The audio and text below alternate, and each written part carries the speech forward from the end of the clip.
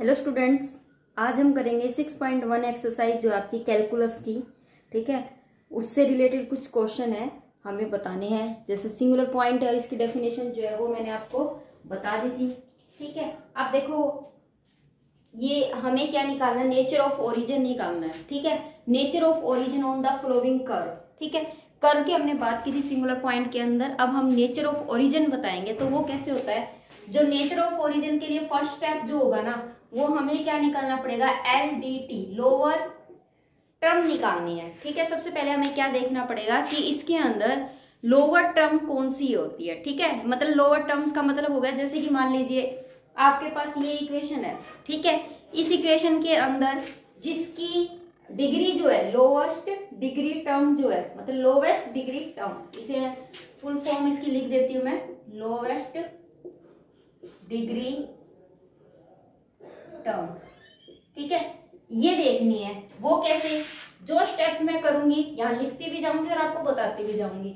देखो, मैं क्या करूँगी? y का square a square plus y square x का स्केयर इज़ इक्वल टू में x square a square minus में एक्स की पावर फोर, इसको एक तरफ़ ले आती हूँ। Y square a square plus y square x का square minus x square a square plus में एक्स की पावर फोर अब देखो लोवेस्ट डिग्री किसकी है? यहाँ देखो, y की स्केयर है। यहाँ y की स्केयर यहाँ y की स्केयर कितना हो गया? फोर हो गई। दोनों को ऐड करना है, ठीक है? दोनों की क्या हो गई? फोर हो गई। यहाँ क्या x का स्केयर है। ये वाली जो है ये वाली तो कांस्टेंट टर्म है, ठीक है? इसकी पावर को हम इंक्लूड नहीं करेंगे, लेकिन जो वेरिएबल है, जैसे एक्स वाई है, उनकी जो टोटल पावर होगी ना, उसको लेके चलना है।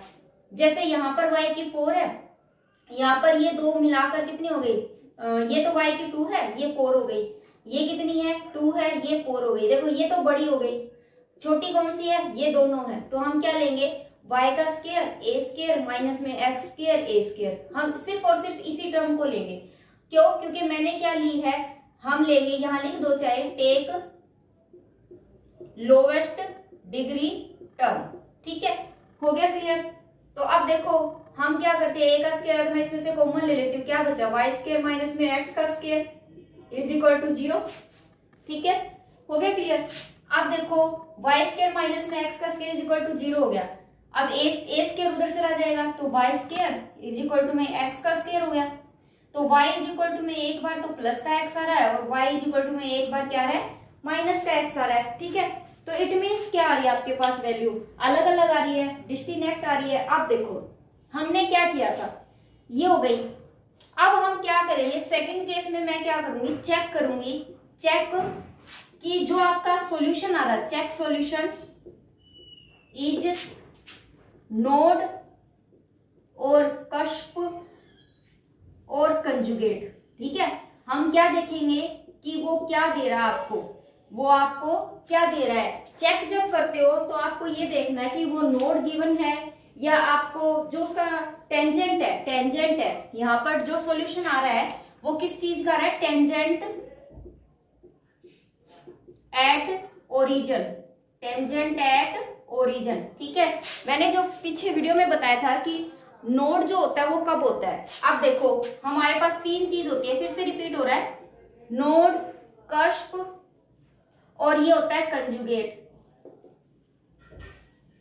ठीक है? नोड कब होगा? जैसे कि मान लीजिए आपके पास ये एक कर्व ऐसे ड्रॉ हो रहा है। एक कर्व आपका ऐसे ड्रॉ हो रहा है। तो जो इन दोनों के ऊपर टेंजेंट ड्रॉ हो रहे हैं एक एक ऐसे ड्रॉ हो रहा है, एक ऐसे। तो दोनों जो टेंजेंट है, वो अलग अलग ड्रॉ हो रहे हैं। दोनों ही टेंजेंट अलग अलग है। एक ये है और एक ये है।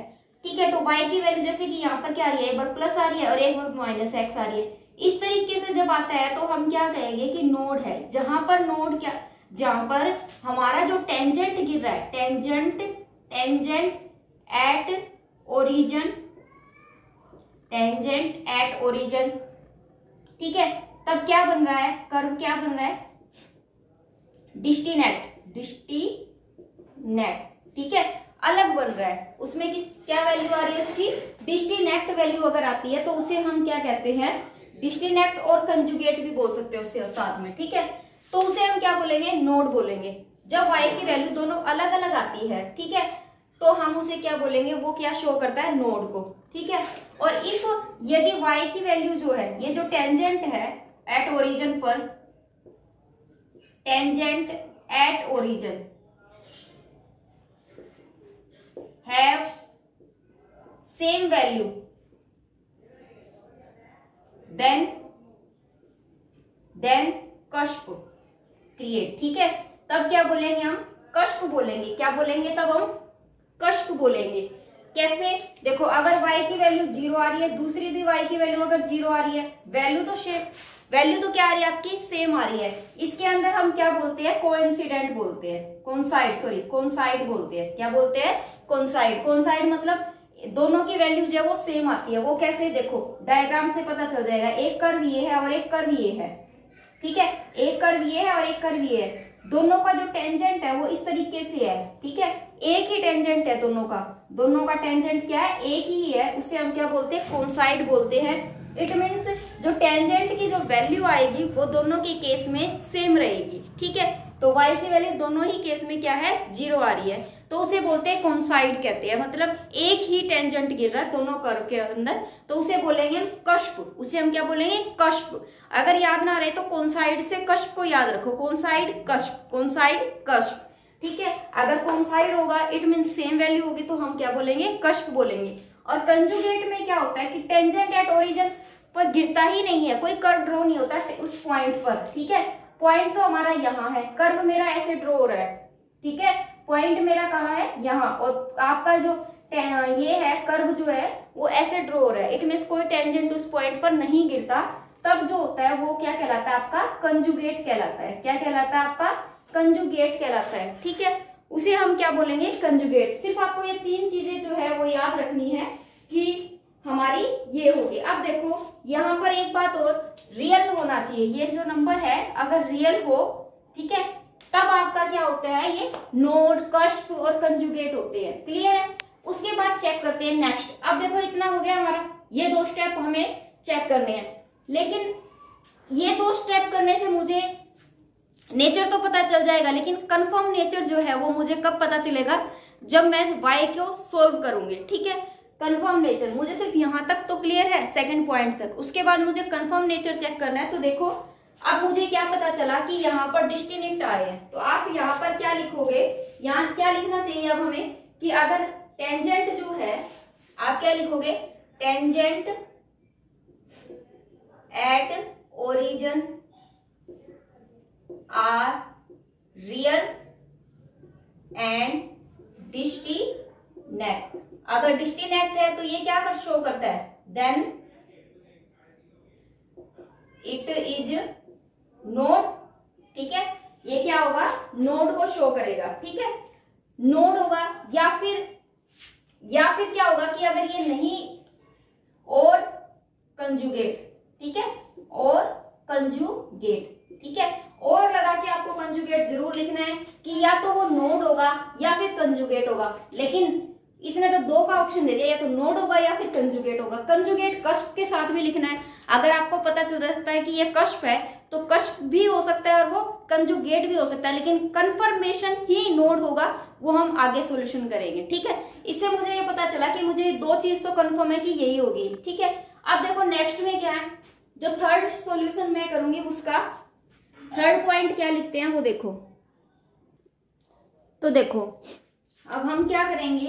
ये चेक करने के लिए अब जब कंजुगेट होगा ना, उसमें क्या आता है? इमेजिनरी आता है। क्या आता है? इमेजिनरी पार्ट आता है। ठीक है? ये तो पता ही आपको कंजुगेट में क्या आता है? इमेजिनरी अब चेक करते हैं हम। अब हम क्या करेंगे? थर्ड स्टेप में ये लिखेंगे। थर्ड स्टेप जो होता है, ठीक है? Check again first equation in which जिसमें थ्री स्टेप करने in which eliminate eliminate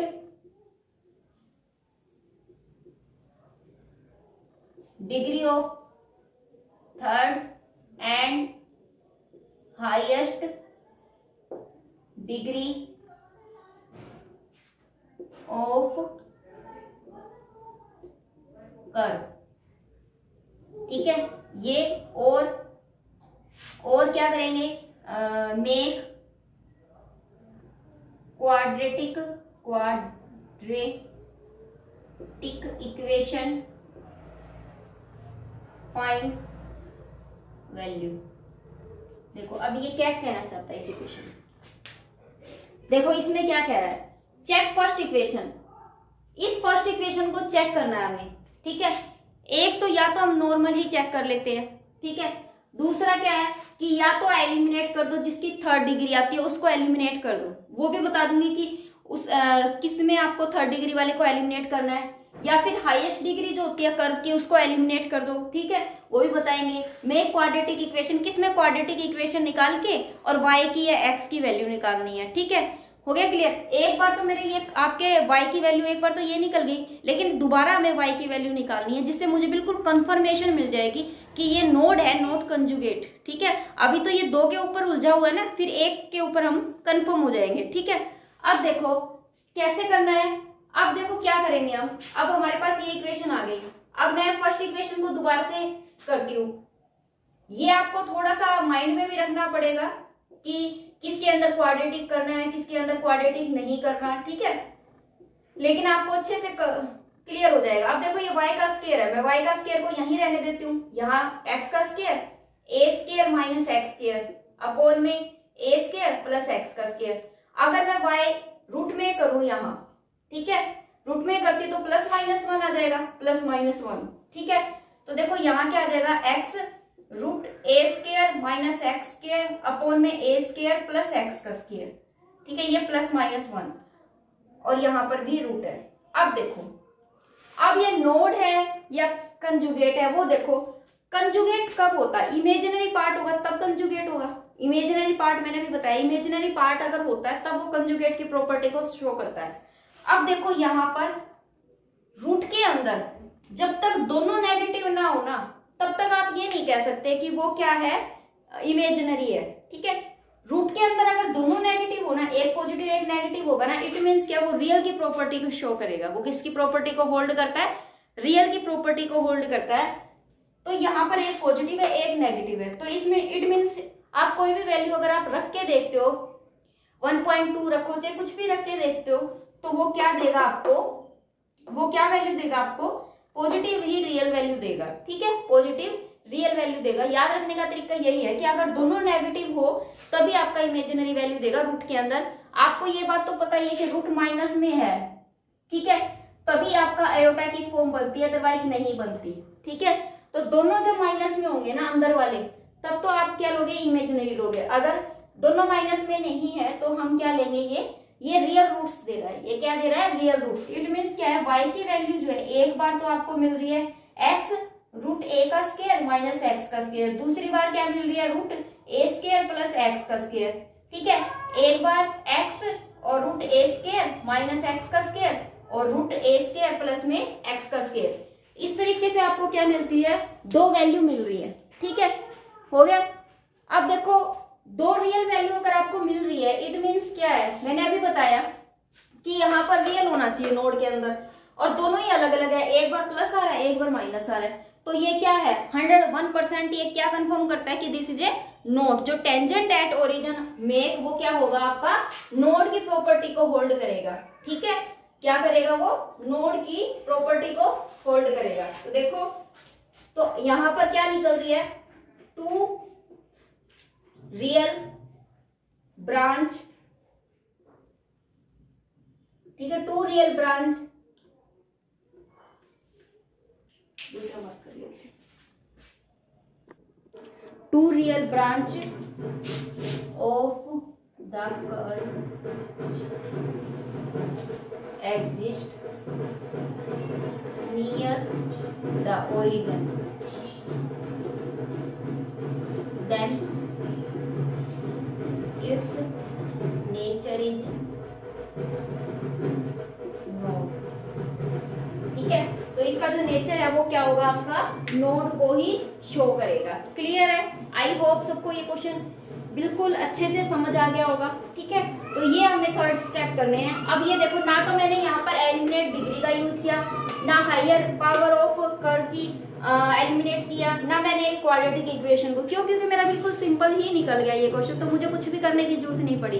ठीक है? वो मैं आपको बताती रहूँगी कि किसमें आपको एलिमिनेट करने की ज़रूरत पड़ेगी। ठीक है? तो देखो नेक्स्ट जो क्वेश्चन है, इसको इरेज कर देती हूँ, क्योंकि आपको पता तो चली गया, इससे रिलेटेड ही सारे क्वेश्चन होंगे। ठीक है? अब देखो ये जो चीज़ है, ये मैं यहीं रखी रहने देना चाहती हूँ ताकि आपको एक एक स्टेप जो यहाँ से देख के करवा सके। देखो क्वेश्चन में क्या दिया हुआ नेक्स्ट जो है the equation of the curve आपका जो सेकंड है द इक्वेशन ऑफ़ कर्व ठीक है equation of curve is x की थ्री प्लस वाई की three minus three a x y. आपको ये करवा देती हूँ। ठीक है? उसके बाद देखो क्या दे रखा है इसके अंदर। इसके केस में मुझे एलिमिनेट करने की ज़रूरत है या नहीं? वो देखना है मुझे। इसके केस में हम एलिमिनेट करेंगे। ऐसा क्यों? क्योंकि देखो, x की थ्री भी है, y की थ्री भी है। क्लियर है?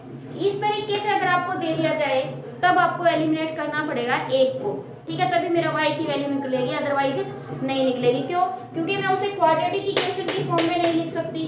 दूसरा, अगर मैं इसको सिंपली वेरीफाई करूँ, तब भी नहीं कर सकती। क्यों? क्योंकि क्यूब है, और क्यूब रूट आ जाएगा फिर। क्यूब रूट में इसको सोल्व करना थोड़ा सा मुश्किल हो जाता है, ठीक है? तो मैं क्या करूँगी? इस x की क्यूब भी है या y की क्यूब भी है तो मैं इसमें क्यूब वाले को क्या कर दूँगी? एलिमिनेट कर दूँगी, ठीक है? दोनों ही क्यूब है, इसीलिए मैं एलिमिनेट करूँगी, ठीक है? तो सबसे पहले तो हम अपना क्वेश्चन जो है फ़र्स्ट स्टेप वो चेक करते हैं लोवेस्ट डिग्री टर्म को चेक करते हैं। First check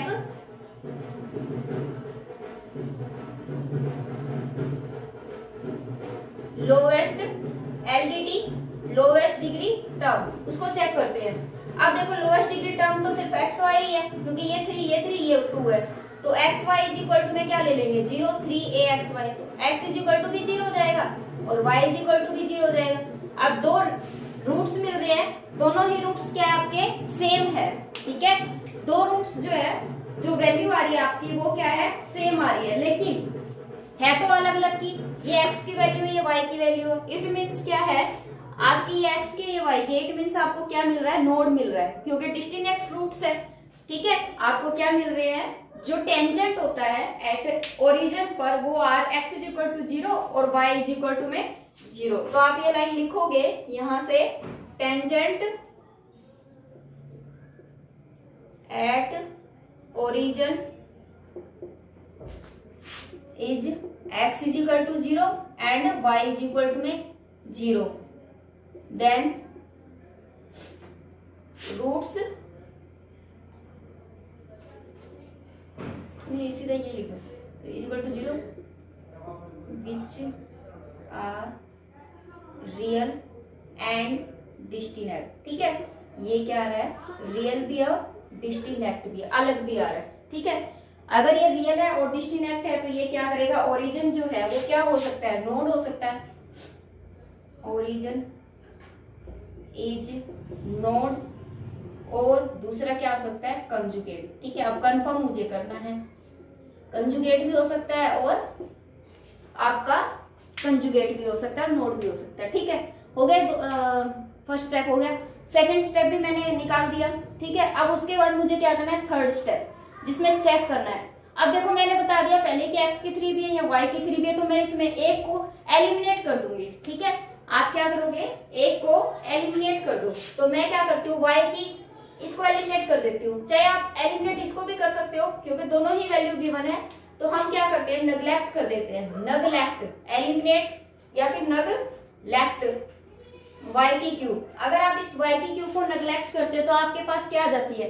एक्स की थ्री माइनस में three x a x y x की three minus three a x y is equal to में ज़ीरो ठीक है? एक्स की थ्री को यही रहने देते हैं। यहाँ क्या रह गया? थ्री ए एक्स वाई ठीक है? अब देखो, एक एक्स से तो एक एक्स कट रहा है तो एक्स का स्केयर इज़ इक्वल टू में थ्री ए वाई आया ठीक है? क्लियर है इतनी बात? अब देखो x का स्केयर इज़ इक्वल टू में थ्री ए वाई आया। अगर मैं y की वैल्यू निकालू यहाँ से तो क्या हो जाएगा? x का स्केयर और ये थ्री ए यहाँ जाएगा और y की वैल्यू यहाँ बचेगी। ठीक है? ये वैल्यू आ गई। अब मेरे पास देखो y की ये वाली वैल्यू आई है।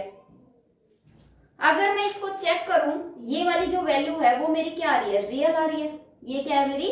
रियल है। ये वैल्यू मेरी क्या है? रियल है। रियल वैल्यू अगर आपकी ये वैल्यू रियल है तो ये क्या शो करेगा? इसकी जो टू ब्रांच है कर्व की टू ब्रांच ऑफ़ कर्व जो है इसका two branch of curve at origin वो क्या है? रियल है. Two branch of the curve is real and distinct है.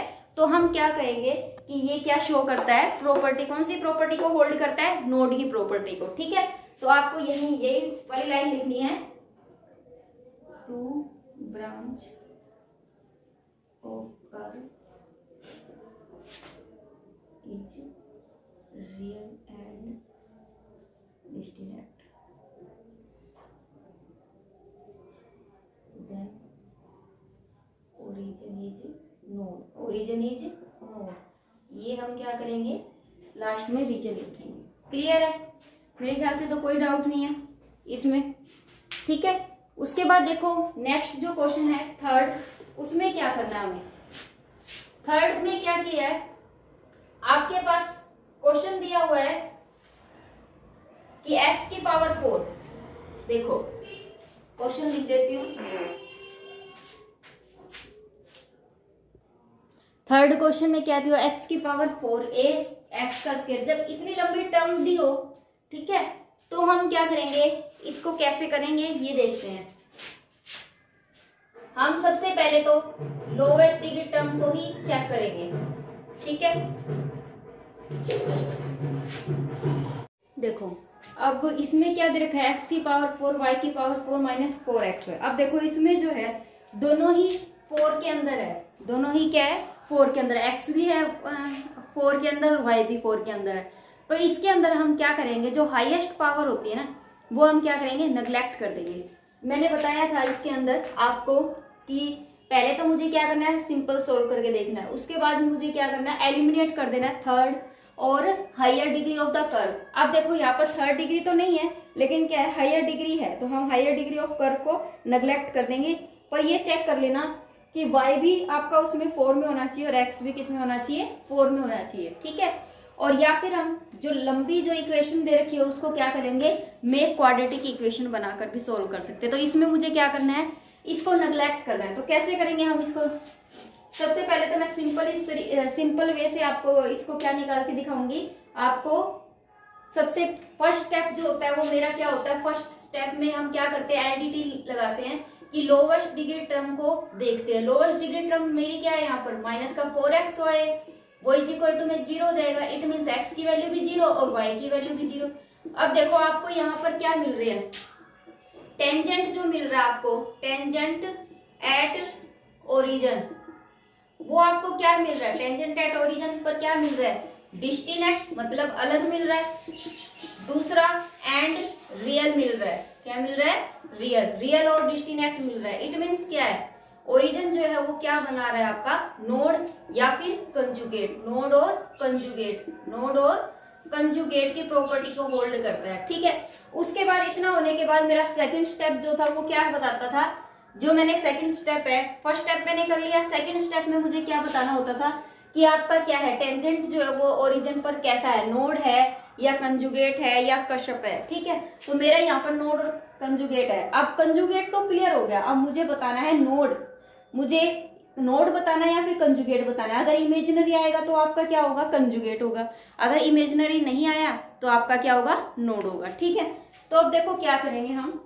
सिर्फ़ इसको सोल्व करने के लिए मुझे अब इस पर आना है। ठीक है? तो मैं यहाँ पर क्या करूँगी? हाइयर पावर ऑफ़ कर्व की एलिमिनेट कर दूँगी। क्यों? क्योंकि दोनों ही किसमें है फोर में है। तो आप क्या करोगे? जो थर्ड स्टेप है, उसमें क्या लिखोगे? थर्ड स्टेप में हाइयर जो पावर है higher power of tangent is removed ठीक है? या फिर आप कह सकते हो एलिमिनेट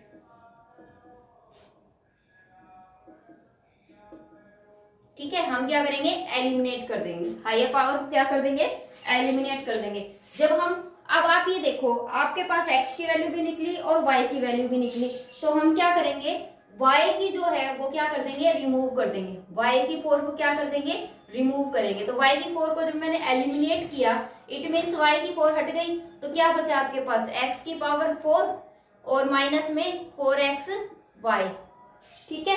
इज़ इक्वल टू में क्या हो गया? ज़ीरो एक्स की पावर फोर को यही रहने दो। इज़ इक्वल टू में फोर एक्स वाई ठीक है? ये क्या हो जाएगा? नीचे आ जाएगा तो फोर एक्स हो गया।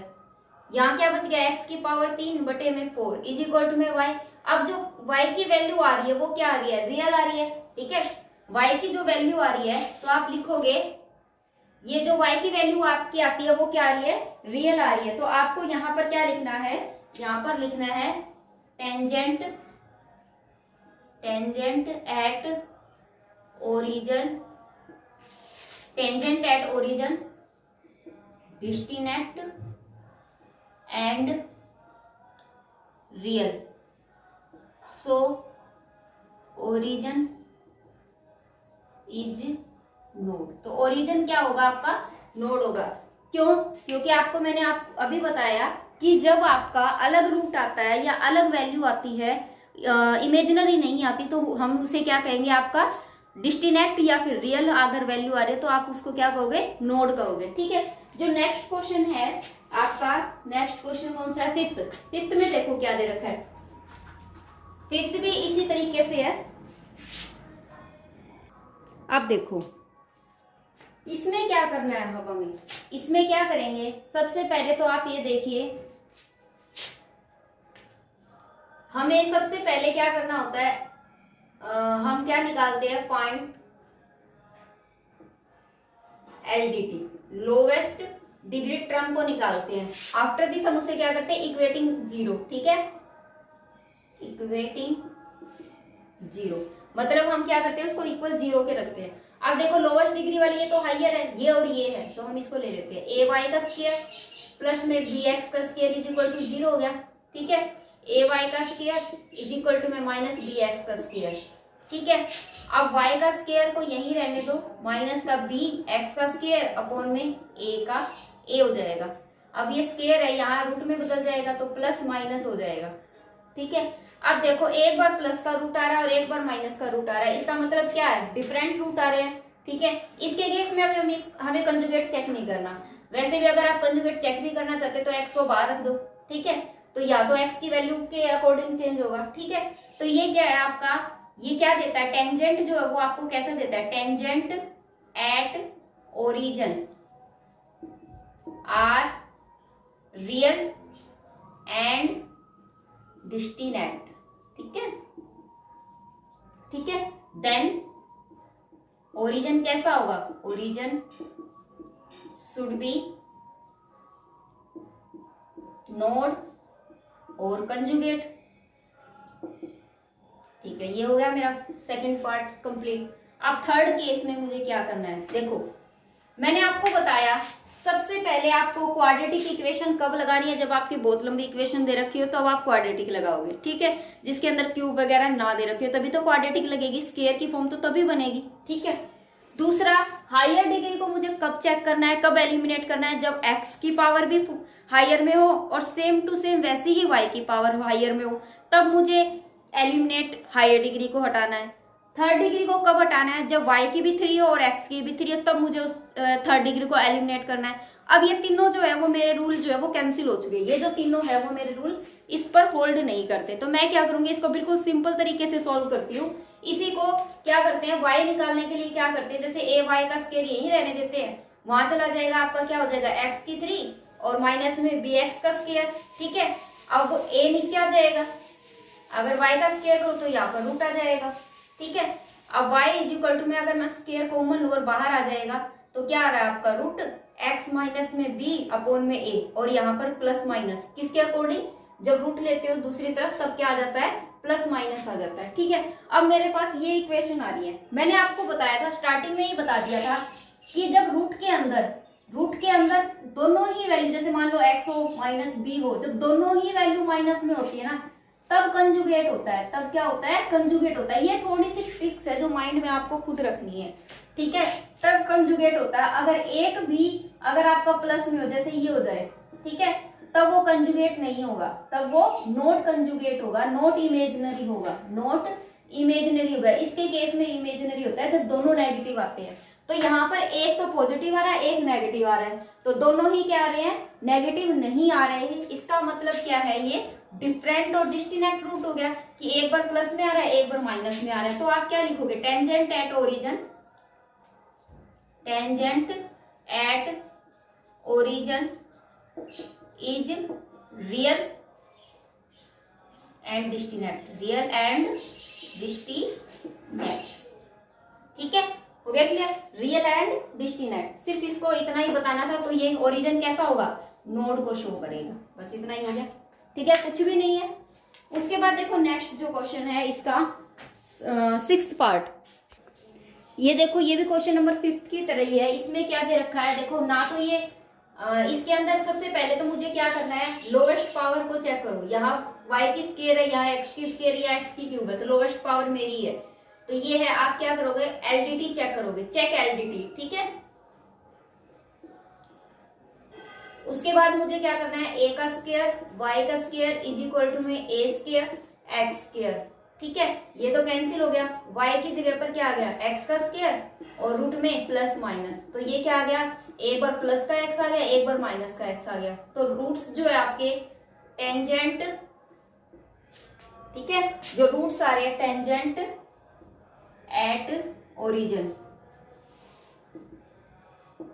is real and distinct मैं बिल्कुल एग्जैक्ट बुक की तरह नहीं लिखवाती, ठीक है, ये मुझे भी पता है।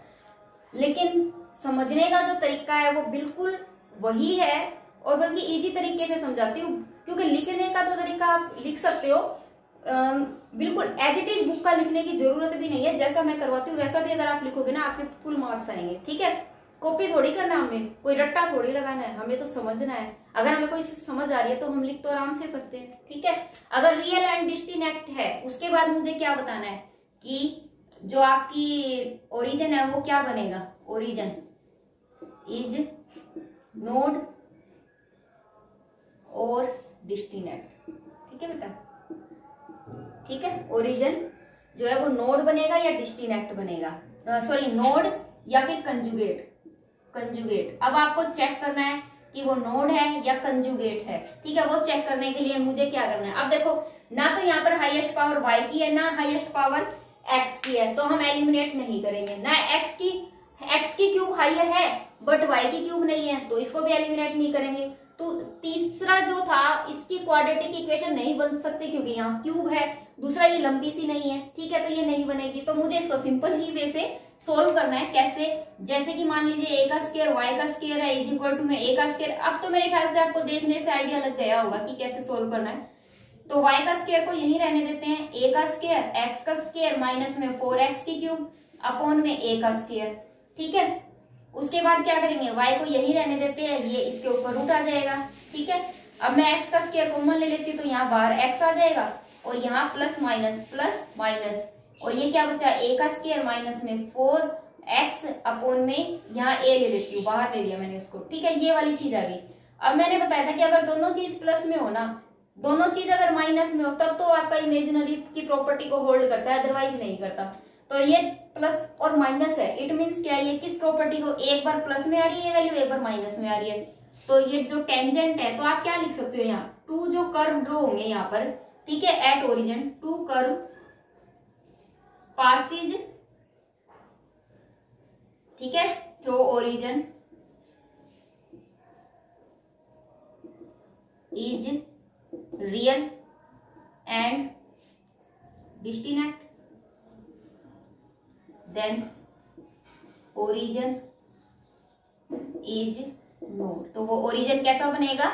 नोड की प्रॉपर्टी को होल्ड करेगा। ठीक है? उसके बाद देखो नेक्स्ट जो क्वेश्चन है, इसका जो सेवंथ पार्ट है लास्ट पार्ट बचा है। आज हम इतना ही करेंगे। फिर नेक्स्ट वीडियो में हम डबल पॉइंट से रिलेटेड सारे क्वेश्चन करेंगे। ठीक है? अगर मैंने आज ही सारे करवा दिए तो ये जो वीडियो है, वो बहुत ज़्यादा लंबी हो जाएगी। देखो, x इंटू में x का स्केयर प्लस y का स्केयर इज़ इक्वल टू में क्या दे रखा है? ए वाई का स्केयर ये दे रखा है। अब देखो इसको कैसे करेंगे। आपको ये इक्वेशन दे दी। सबसे पहले तो मुझे लोएस्ट डिग्री चेक करनी है, इसकी मल्टीप्लाई कर देती हूँ एक्स की क्यूब प्लस में एक्स वाई की स्केयर इज़ इक्वल टू में ए वाई का स्केयर लोएस्ट डिग्री जो है वो किसमें है? इसके अंदर और इसके अंदर है। तो इसको ले लेती हूँ। ए वाई का स्केयर इज़ इक्वल टू में ए वाई का स्केयर वाई का स्केयर से कैंसिल हो रहा है, यहाँ एक्स बच रहा था। तो एक्स इज़ इक्वल टू में क्या आया? ए आया। ठीक है? एक x is equal to zero मान लो, ठीक है? एक एक्स की वैल्यू तो ए आ चुकी है और एक एक्स की वैल्यू जो है वो क्या आ रही है? ज़ीरो आ रही है। तो अब हम इसको कैसे, ओ मैंने गलती कर दी। क्योंकि मैंने थोड़ा सा गलत कर दिया इसको। कैसे? मुझे पावर टोटल देखनी है। टोटल पावर देखनी है। अब यहाँ एक्स की थ्री था तो टोटल पावर एक्स की वन है और टू है। टोटल पावर देखनी होती है।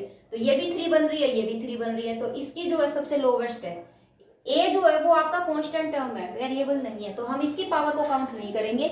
लेकिन ए की पावर एक्स की पावर को तो काउंट करेंगे ना। तो ए वाई का स्केयर इज़ इक्वल टू में क्या हो जाएगा? ज़ीरो तो y का स्केयर इज़ इक्वल टू में ज़ीरो तो y इज़ इक्वल टू में ज़ीरो और y इज़ इक्वल टू में ज़ीरो दो वैल्यू आ रही है, लेकिन वही ज़ीरो की आ रही है।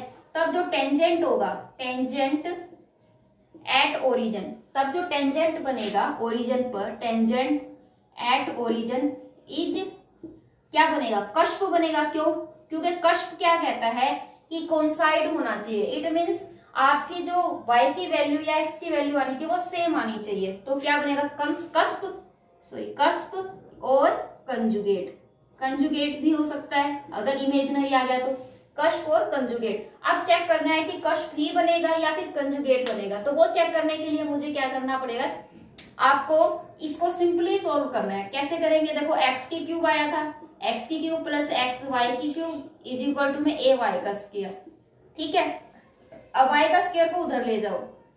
यहाँ एक्स की क्यूब को रहने दो। इज़ इक्वल टू में ए वाई का स्केयर और ये हो जाएगा माइनस एक्स वाई का स्केयर तो ए माइनस एक्स वाई का स्केयर कॉमन ले लो।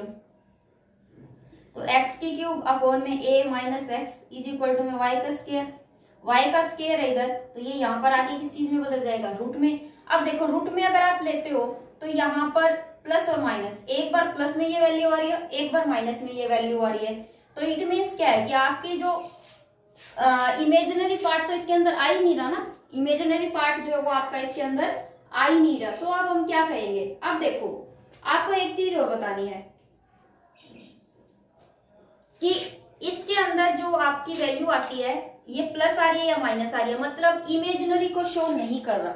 अगर इमेजिनरी को शो नहीं कर रहा, तब आप क्या करोगे जो टू कर्व जो है two curve passes through origin is कौन साइड ठीक है? Then origin is cusp clear है? बस इतना ही हमें करना था।